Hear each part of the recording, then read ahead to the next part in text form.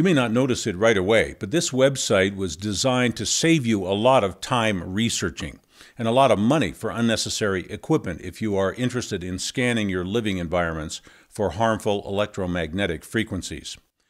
Millions of people are now finding EMF sensitivities in their families. And sensitive or not, we should all have some way to determine if our EMF exposures are too high. And we should be able to accurately read and record those exposures if we ever would need to present credible evidence to, say, a utility company or an insurance company or a device manufacturer in some legal challenge. I contacted Oram Miller, a highly experienced building biologist, to recommend the lowest cost EMF scanning meters while assuring that those meters would accurately measure the full range of potential harmful EMF exposures in a home, office, or other living space. As it turns out, it's not possible to fully scan a location with just one meter because electromagnetic frequencies cover such a wide spectrum, and there are so many different common sources of harmful EMF in our living spaces.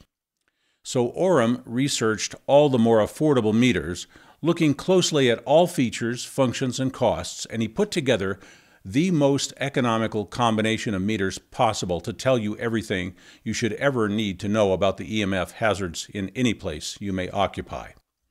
It came down to four different scanning devices that we recommend and offer.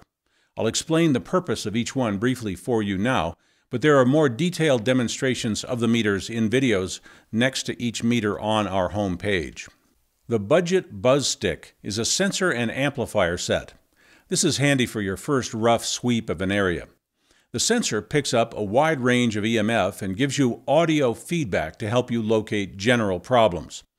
After you use this a while, you can actually tell by the sound it makes what kind of source the EMF is from, such as a cell phone, bad wiring, power lines over the house, or whatever. Now, the buzz stick does not provide any numeric reading of the amplitudes or frequencies, so it does not provide a useful record, for instance, for legal matters. The buzz stick is just an easy way to reach around the room and get an indication of where you may want to put a more sophisticated meter to get precise readings and collect the reliable data you'll need to really solve the problem. The most versatile meter we offer is the Cornet ED78S. And this meter does give you precise numbers for your records, and so you know exactly what is and is not a potential problem. The Cornet is a combination meter, which means it does the work of several meters. It has three modes. It measures radio frequencies and two ranges of magnetic fields.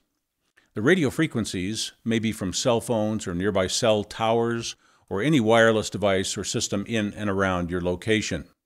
The magnetic fields tell you about electrical problems, which are very common in our houses and offices. The Cornet is very powerful in its functions, and it's probably the meter you will use the most in scanning your living environments. It takes a little time to become familiar with how to operate and use this meter, but if you watch the demonstration video on the website next to the Cornet meter, you should be ready to go. The body voltage meter is easily misunderstood. This meter is measuring electric fields in the general area, but it's doing so by reading the current that is actually stored in your body. Whenever we're near any electric lines or powered equipment, our bodies are charging and discharging all the time. You can always discharge the voltage in your body by grounding yourself. You might touch a metal railing or just stand barefoot on the ground. It usually does it. But when your body is grounded, you are drawing any nearby loose current through your body. And we were not designed to serve as grounding rods. So rather than draw all that nearby voltage through your body, it's better to escape or eliminate the source of the electric fields, especially if they're in the room where you're sleeping. The body voltage meter tells you when ambient fields are too high for health and safety, and it can usually give you an idea where the fields are coming from. Without realizing it, we often have electrical wiring and devices close to us which elevate our body voltage. It's unhealthy to have a high electric charge in our bodies for sustained periods, and the body voltage meter gives you a way to find and identify those problems. The Stetzerizer microsurge meter is for measuring dirty electricity on the 120 volt wiring inside the building walls and the loose cords running around the room. The term dirty electricity means your house current is disrupted or polluted with transients and harmonics, usually introduced into your lines by transformers, motors, wiring errors, poor grounding, and all kinds of electrical appliances, tools, and devices. This causes harmful electric fields to be broadcast well into your rooms and living spaces. Your house current is supposed to be 60 cycles a second, nothing more, nothing less. By plugging in the Stetzerizer meter, you can see the current that is not supposed to be there, that is being wasted and polluting your living spaces. A lot of that can be fixed by unplugging unnecessary devices or moving them, fixing wiring errors, and making sure every electrical device has a three prong grounded plug. If that doesn't fix things, the Stetzer company makes a plug in device called a filter that neutralizes and reduces the dirty electricity. Often, a house will need about 20 of those filters to keep the dirty electricity down. The Stetzer microsurge meter and the Stetzer filters are available on our website. Sometimes you're just looking for one particular type of exposure, so you may decide to order one or two of the meters.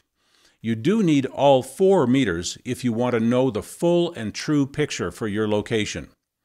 If you're ordering all four, there's a one click package order button on our website to make ordering the full set more convenient. The cost of all four of those meters I just described is far less than just one more expensive scanning meter that might not read as many different types of exposures. That's the value and the service of this website to get some of the technicalities out of your way and bring EMF scanning solutions to a much wider audience. And most importantly, to reduce the cost of getting the equipment and information you need to master your EMF exposures. You'll find our contacts on the website if you have any questions.